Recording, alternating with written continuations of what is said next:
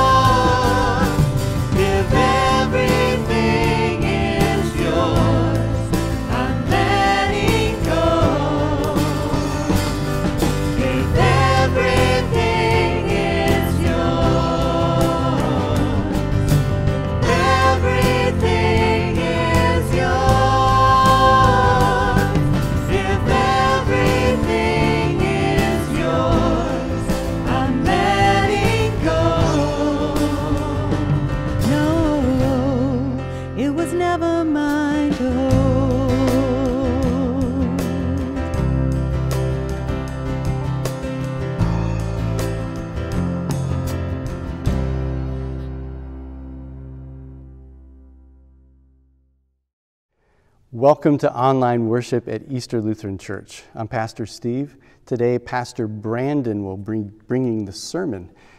Now, this week, I broke out my alb and my stole because this is a very special Sunday.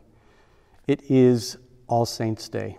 It's that week where we stop, we light a candle, and we remember those saints and those loved ones who have gone before us in death. And so, right now, uh, I want to pause and make sure that you're prepared for this worship service because not only is it All Saints' Day, it's also a communion Sunday. So, I'd like you to make sure you have two different things. First of all, grab your communion elements and grab a candle so that later in the service, Pastor Megan is going to lead us through the lighting of a candle and the remembrance of All Saints.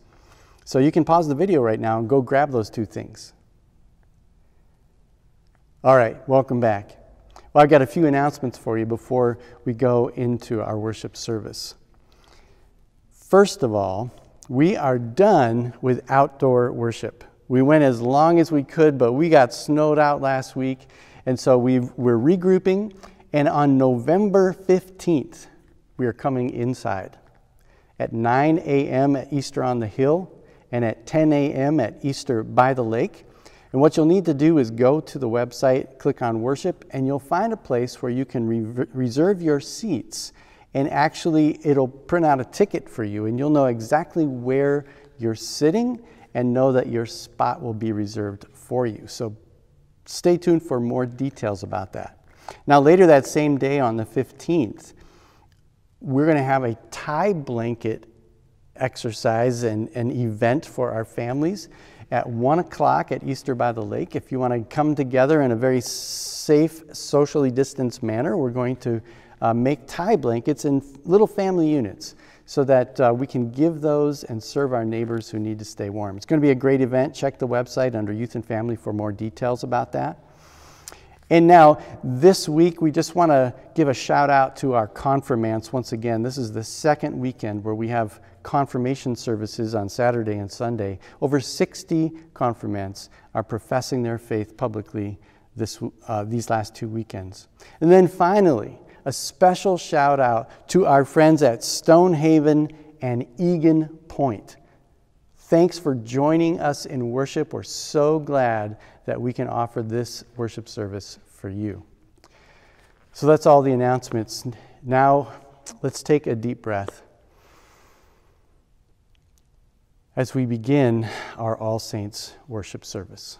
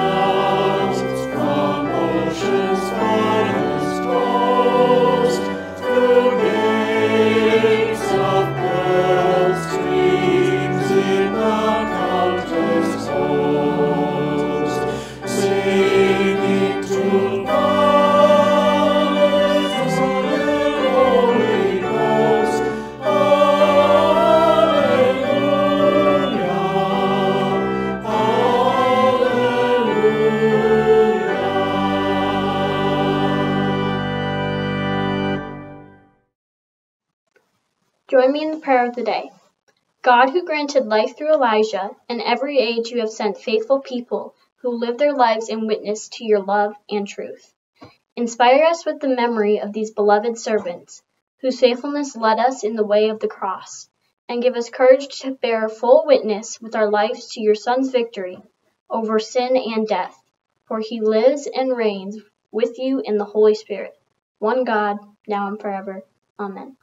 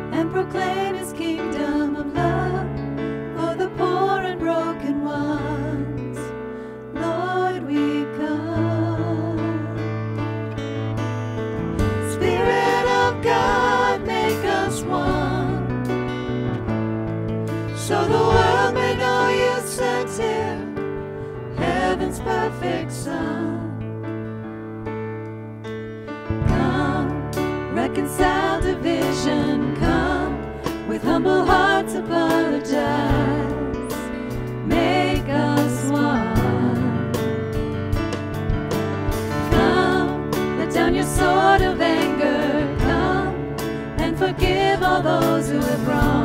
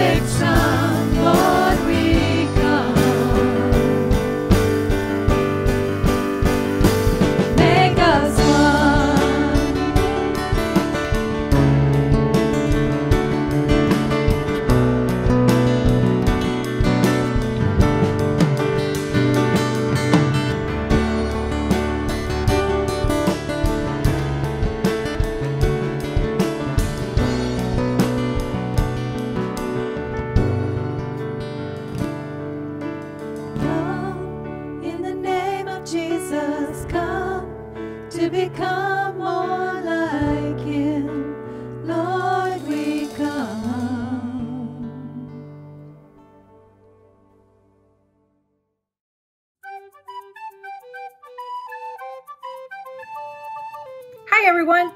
I'm Rochelle, and I'm going to tell you a children's message today. We're going to hear a story about a man named Elijah, and he was a friend of God's.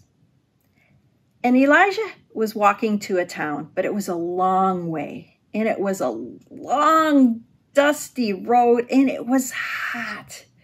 And Elijah kept walking and walking, and his tummy was gurgling. Does that ever happen to you when you're hungry? Oh, he was so hungry, and his tummy was gurgling, and he kept walking, and it was hot. And he came across a woman, and he asked the woman, Do you have any food or water for me? And the woman was kind of sad because she wanted to help him. And she told him she only had a little bit of oil.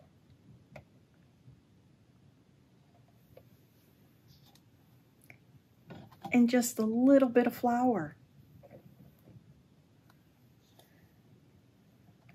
to make only one biscuit for her and her son. That's all she had. She didn't have anything else. And then, as she was mixing and looking into her basket, she was amazed. There was more oil and flour. Now she would have enough to feed Elijah too. She was so happy to help. She was mixing it and mixing it and looked back. And again, she was amazed. More oil and flour and more. God provided. Elijah said that God would. She was so happy to help. Who can you help? Tell your people around you right now. Who can you help today? The woman was so happy when she helped. So let's pray. Repeat after me. Hey, God. Thank you for the woman who helped Elijah. We are so thankful for people who help us. A- a- a- Amen. So, who can you help today? What are you thankful for? Remember, God loves you, and we do too. Well, hello. It's great to be together for worship again. We continue our worship series, People of Faith, Stories of Faith. Last week, we learned from King David that God is always reforming our lives, our worship, our church, not in our own image and what we want to do, but in God's image and where God wants us to go and what God wants us to do. Today, we learn from Elijah and a widow at Zarephath about trusting in God's gift of new life. A lot has happened since worship last week. David is no longer king. In fact, Israel has split into a northern kingdom and a southern kingdom. The northern kingdom is Israel, the southern kingdom is Judah. King Ahab is king over northern Israel. And Ahab is considered a terrible king. Instead of leading the people faithfully in worship of God, King Ahab builds altars to false gods he marries Jezebel, and she comes from a place called Phoenicia and brings her worship of the gods Baal and Asherah with her. Baal was thought to be god of the rain and thunderstorms, and together with Asherah, they made sure that the land was fertile and produced lots of food for people to eat.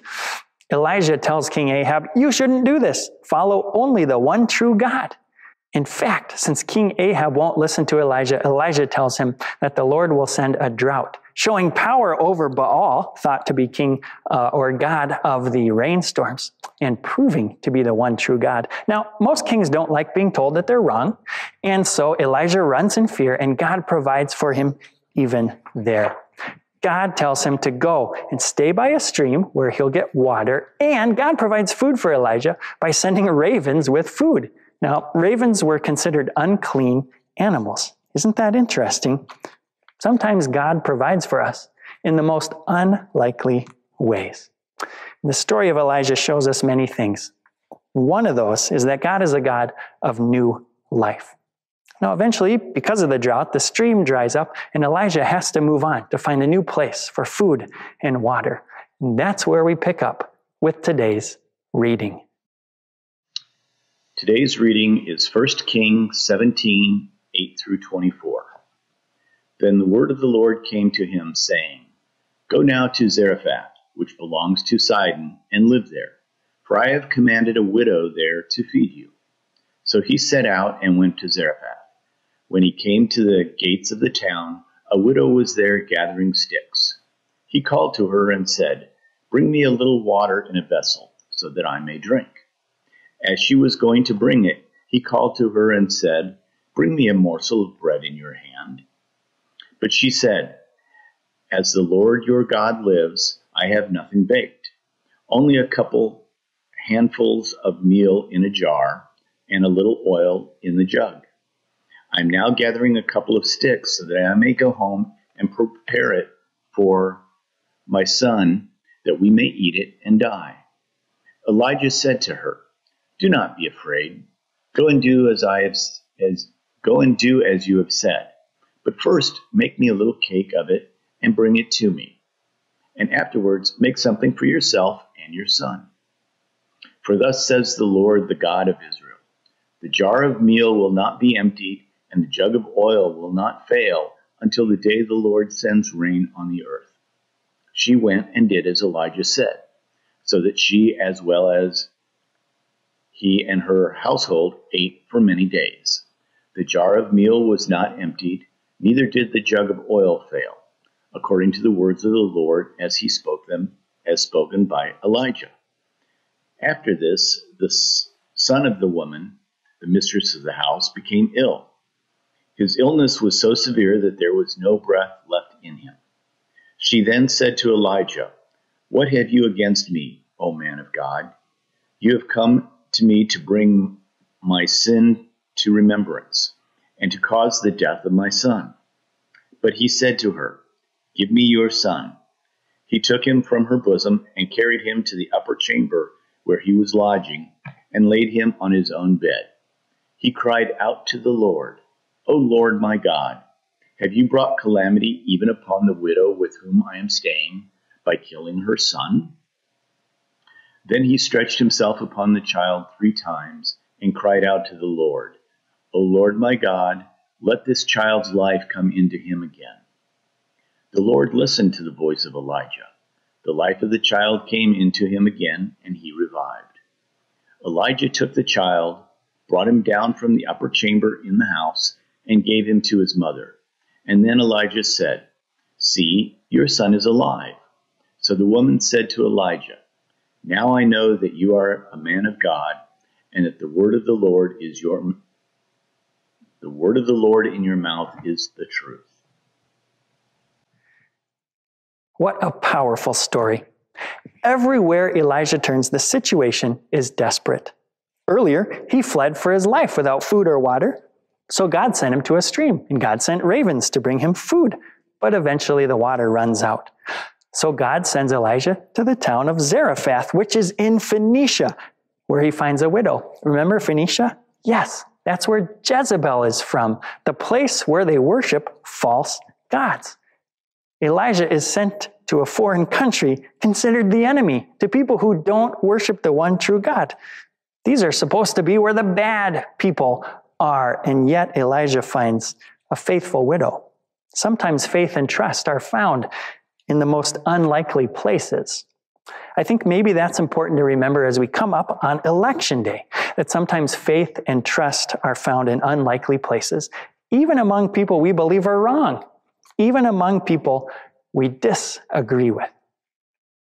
And that brings us to the next part of our story. In today's story, the widow has nearly nothing left. Elijah finds her outside the city gate, collecting sticks so she can make one last fire to use her last bit of flour and her last bit of oil to make her and her son a bite to eat, and then they can die. Everywhere Elijah turns, the situation is desperate. But Elijah tells the widow to first make him a cake and then feed herself and her son.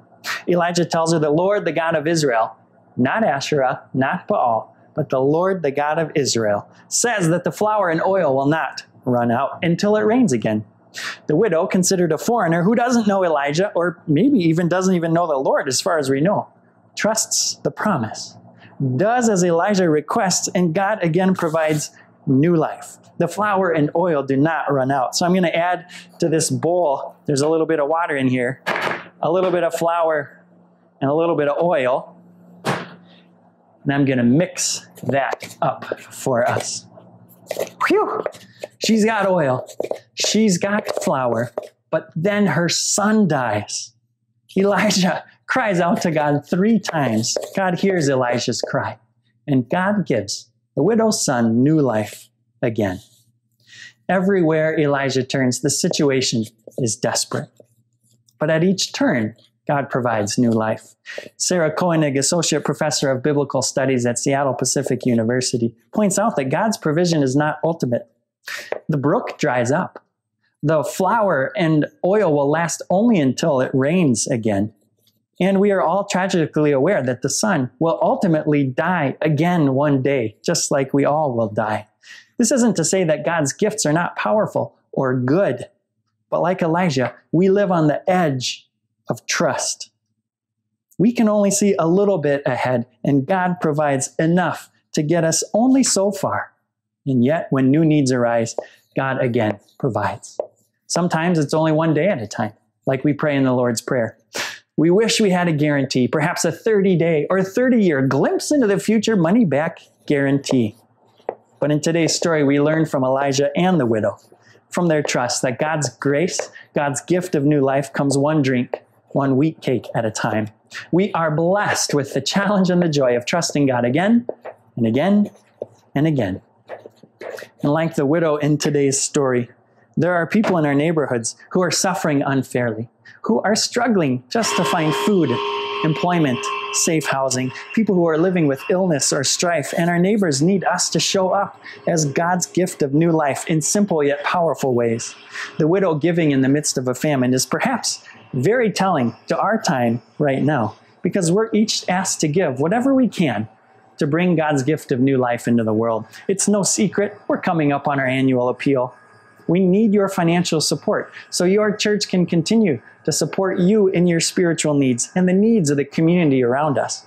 Everyone has something to give. The widow gives a little bit of dough, a little bite of bread to Elijah, and God makes that enough to sustain all of them. We also think of the many ways God gifts us with money, abilities, and time, All these gifts are from God, given with the purpose of bringing new life into the world. God heals and God feeds, and it is through you and through me. Eventually, those gifts are used.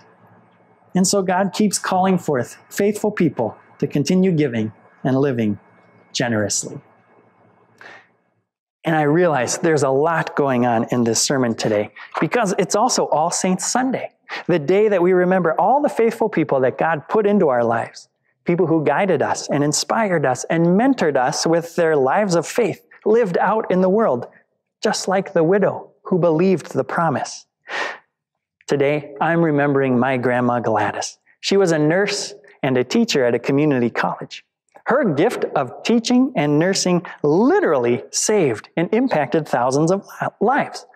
You know, I think up until this pandemic, we took the gifts that nurses and teachers have to share with us for granted, didn't we? But those, nurture, but those nurses and teachers have a big purpose in bringing new life into the world.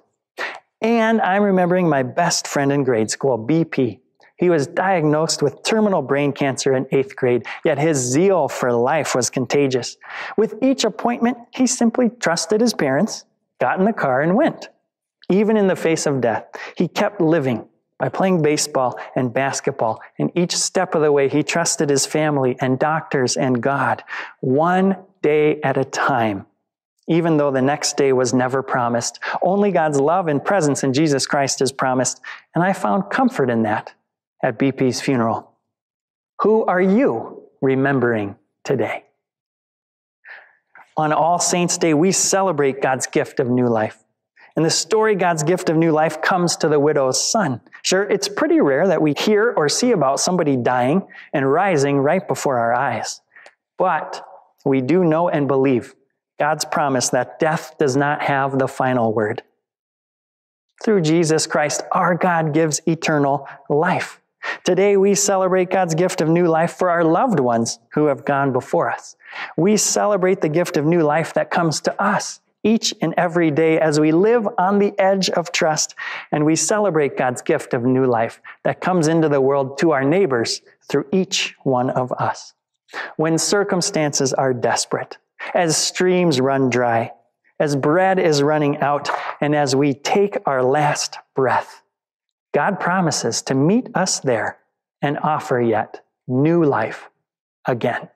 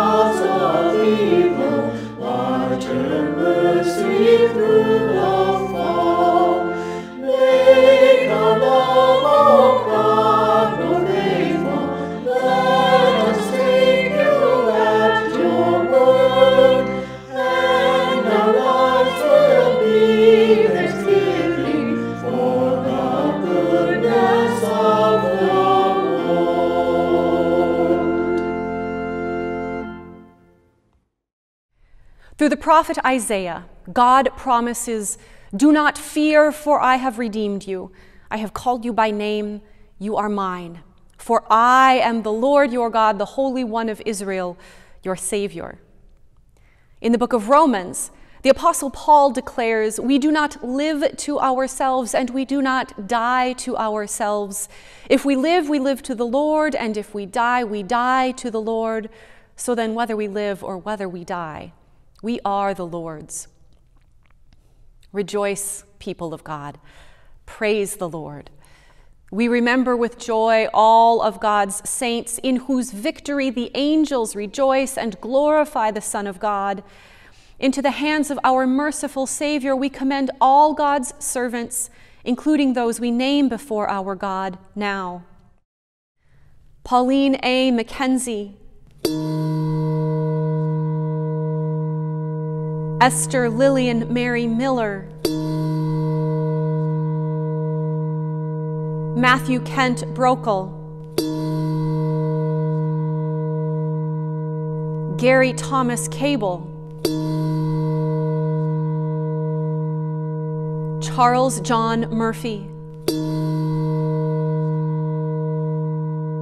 Evan Myron Christensen, Eric Gordon Eric Strip Jr., Karen Ruth Marie Everett, Stephen Lyle Hammer,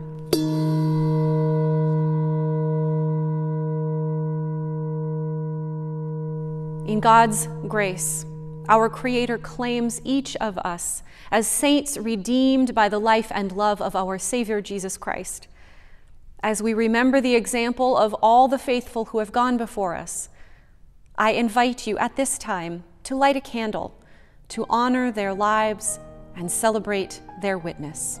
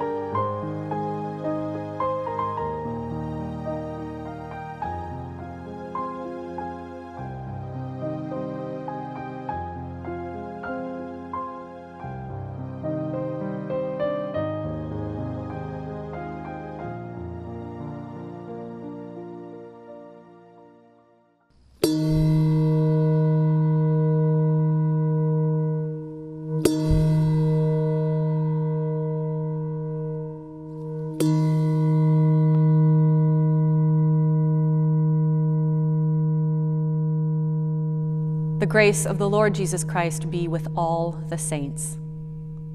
Let us pray. Eternal God, you grant your people a new birth in baptism and entrust them to us to know and to love. As we thank you for these lives you share with us, help us now to release those we love to your mighty keeping. Bring us all to that day when we shall stand in your presence with all your saints in light eternal through Jesus Christ, our Savior and Lord. Amen. Well, it's been a great story as we looked at Elijah and this widow from Zarephath and her incredible faithfulness and her willingness to share even when she seemed to have nothing. And as we think about that faithfulness and as we think about the saints that have gone before us, we just think about this incredible spirit of generosity. And as we come now to our offering moment, I just want to lift up for you a reminder that on November 15th will be the culmination of our current appeal um, campaign. We've been talking about uh, the special needs that we have as a congregation and the ways that we can come together as a community. The money that we will raise with this campaign will go to respond to the pandemic, to work for racial justice, to connect with our community in deeper ways, and to sustain this ministry that God has called us to with excellence. You should have received a letter with a chart, and we, we ask you in this last week to prayerfully consider that chart and ask, what is God calling you to do? That next step that you can take. Because it is in love and with love and for love that we come together to partner with God in what God is doing in this world. And so now let's take a moment to worship God with our gifts and our offerings.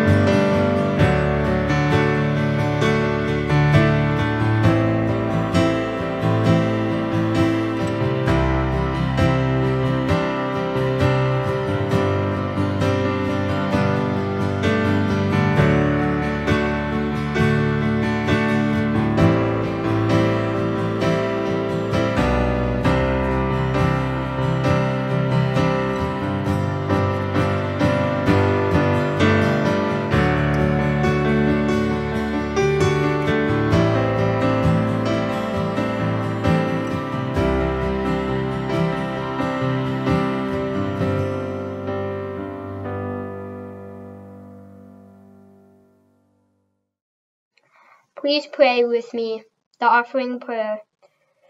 In you, gracious God, we find strength for today and hope for tomorrow.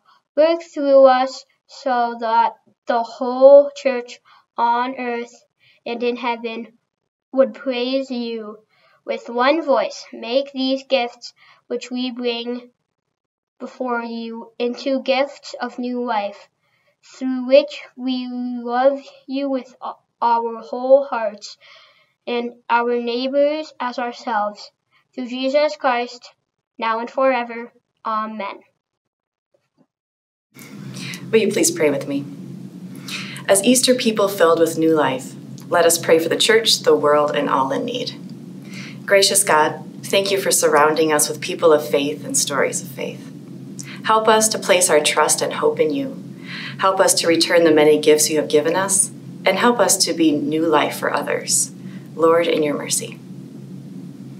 Eternal God, we thank you for the faithful saints you have placed in our lives to nurture and guide us in our own faith journeys. We remember that your love is stronger than death and your passion fiercer than the grave as we celebrate your promise of new life even after death. Help us to be faithful witnesses to your love for all of those around us until we too are gathered in your eternal, eternal embrace. Lord, in your mercy. God of all people, as we approach the election day, fill our hearts, minds, and mouths with words of respect and care for those we disagree with. Help us to remember that you are far bigger and greater than any earthly ruler. And as we place our trust and lives in you, align our hearts and lives with your justice and help us to work together across party lines to look out for the needs of the poor and the oppressed. Lord, in your mercy claiming God, we pray for our students who have affirmed their baptismal promises during confirmation worship these past two weekends. Thank you for claiming them as your children. And thank you for nurturing their faith through their family, friends, and this church. Thank you for your Holy Spirit that helps them trust in you and the journey ahead. Lord, in your mercy. Healing God, send your spirit to all of those who are sick in mind, body, or spirit including Melinda Martin, Maddie Lockard, Nicholas Moe, Sarah Benedict, Shannon Arndt, Mike Wagner, Jody Taylor, Blanche Brommer, Marian Newhar, and all of those we name before you.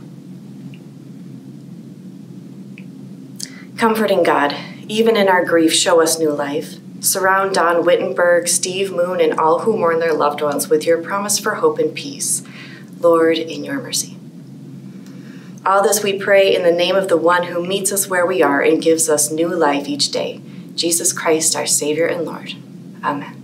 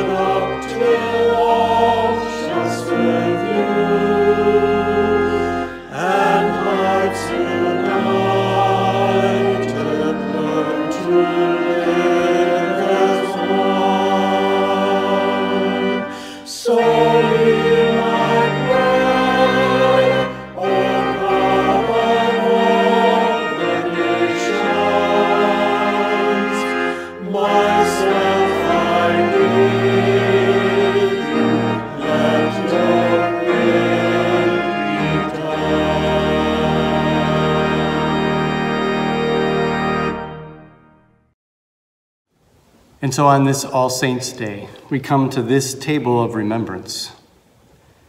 We gathered together to remember that on the night in which he was betrayed, our Lord Jesus took bread. He gave thanks and he broke it, and he gave it to his disciples, saying, Take and eat. This is my body, given for you. Do this in remembrance of me. And again, after supper, he took the cup and he gave thanks, and he gave it for all to drink, saying, This cup is the new covenant in my blood, which is shed for you and for all people for the forgiveness of sins. Do this in remembrance of me. Now let's join our voices together and pray the way that Jesus taught us to pray. Our Father, who art in heaven, hallowed be thy name. Thy kingdom come, thy will be done, on earth as it is in heaven. Give us this day our daily bread, and forgive us our trespasses, as we forgive those who trespass against us. And lead us not into temptation, but deliver us from evil. For thine is the kingdom, and the power, and the glory, forever and ever. Amen. And now, as we take this bread that is broken for you and this wine, all is ready. This is the body of Christ given for you. This is the blood of Christ shed for your forgiveness.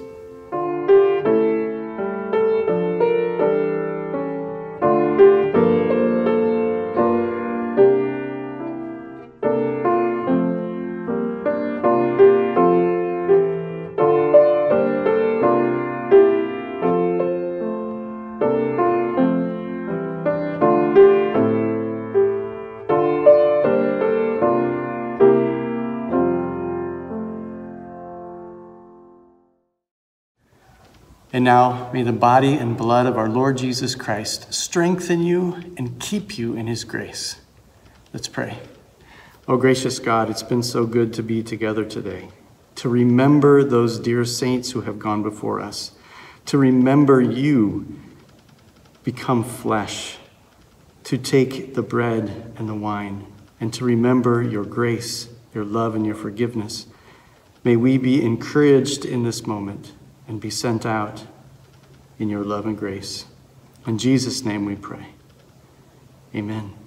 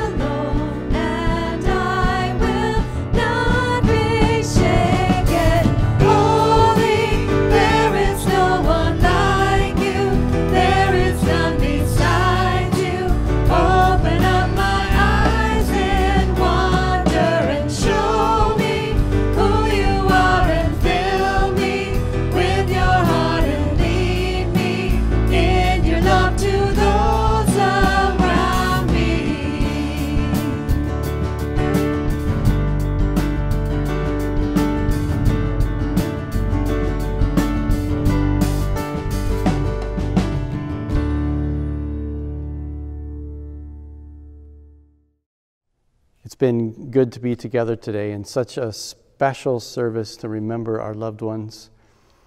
And now, as you go from this place, may the Lord bless you and keep you. May the Lord's face shine upon you with grace and mercy. May the Lord look upon you with favor and grant you peace.